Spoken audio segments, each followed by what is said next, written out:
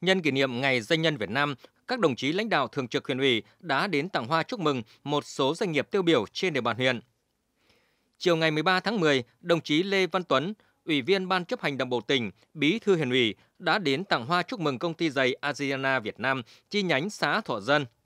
Cùng đi có đồng chí Bùi Huy Dũng, Ủy viên Ban Thường vụ huyện ủy, Phó Chủ tịch Ủy ban dân huyện, lãnh đạo Văn phòng huyện ủy, Phòng Tài chính Kế hoạch. Thay mặt lãnh đạo huyện, đồng chí Bí thư huyện ủy Lê Văn Tuấn đã ghi nhận đánh giá cao những kết quả mà công ty đã đạt được trong thời gian qua. Đồng chí cho rằng hiện nay tình hình dịch bệnh COVID-19 đã cơ bản, đã được kiểm soát, vì vậy, công ty cần tập trung phát triển kinh tế, duy trì và đẩy mạnh sản xuất, kinh doanh, bù đắp những thâm hụt do dịch bệnh trước kia. Công ty doanh nghiệp là những chiến sĩ trên mặt trận kinh tế tiếp tục phát huy vai trò tự lực, đoàn kết, năng động, đẩy mạnh phát triển sản xuất kinh doanh, thực hiện nghiêm các quy định của pháp luật, quan tâm chăm lo, bảo vệ quyền lợi cho người lao động. Đồng thời tích cực tham gia các hoạt động xã hội, nhân đạo từ thiện. Bên cạnh đó, huyện luôn xác định khâu đột phá là cải thiện mạnh mẽ môi trường đầu tư kinh doanh, tạo điều kiện cho các thành phần kinh tế phát triển. Huyện cam kết sẽ luôn đồng hành cùng công ty trong các hoạt động. Cùng ngày, đồng chí Lê Kim Chất, Phó Bí thư Thường trực huyện ủy, Chủ tịch Hội đồng nhân dân huyện, đồng chí Lê Thị Luyện, Ủy viên Ban Thường vụ huyện ủy, Phó Chủ tịch Hội đồng nhân dân huyện cùng lãnh đạo Văn phòng huyện ủy, Phòng Tài chính Kế hoạch, đã đến tặng hoa chúc mừng công ty trách nhiệm hữu hạn sản xuất và thương mại Nhất Duy, xã Triệu Thành.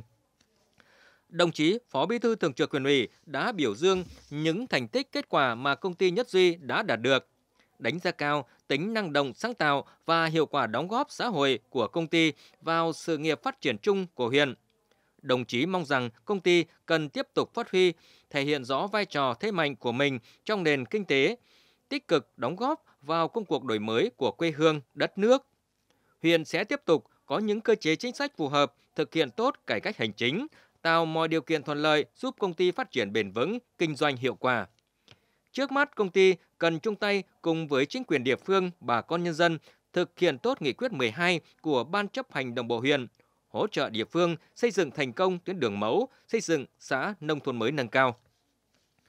Tại công ty Drem Fina xã Đồng Lợi, đồng chí Vũ Đức Kính, Phó Bí thư huyện ủy, Chủ tịch Ủy ban dân huyện, lãnh đạo Liên đoàn Lao động huyện, Văn phòng Hội đồng Nhân dân và Ủy ban dân huyện, Phòng Tài chính Kế hoạch huyện đã đến tặng hoa chúc mừng.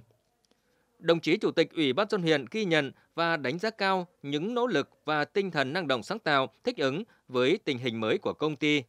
Mặc dù chịu ảnh hưởng lớn của dịch bệnh COVID-19, song thời gian qua, công ty đã không ngừng nỗ lực cố gắng phát triển sản xuất kinh doanh, tạo việc làm và giữ thu nhập ổn định cho người lao động, đóng góp tích cực vào ngân sách nhà nước và góp phần không nhỏ vào công tác phòng chống dịch bệnh trên địa bàn huyện.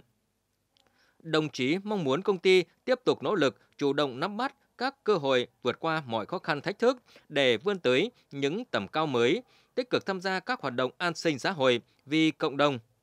thực hiện tốt công tác chăm lo đến đời sống người lao động, huyện sẽ tiếp tục đồng hành, ủng hộ và hỗ trợ công ty để vượt qua các khó khăn, đóng góp vào sự phát triển chung của huyện. Đón nhận sự quan tâm của lãnh đạo huyện,